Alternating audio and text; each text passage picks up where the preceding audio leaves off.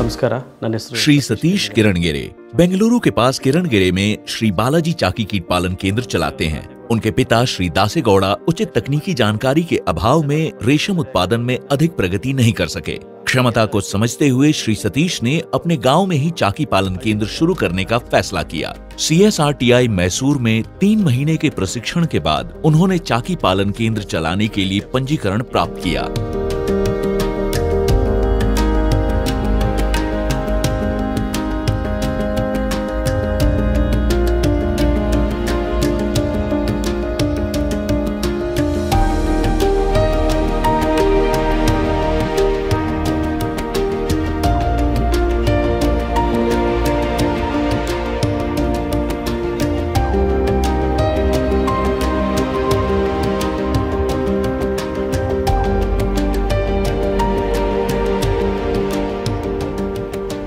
उनका मत है कि चाकी गतिविधियों के लिए कौशल, अनुभव और निपुणता की आवश्यकता होती है।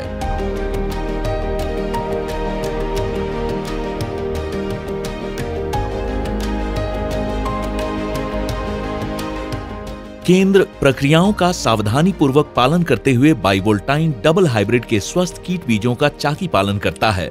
चाकी के लिए प्राथमिक आवश्यकता है शहतूत के रसीले और पौष्टिक पत्ते के लिए विशेष चाकी बागान का रखरखाव।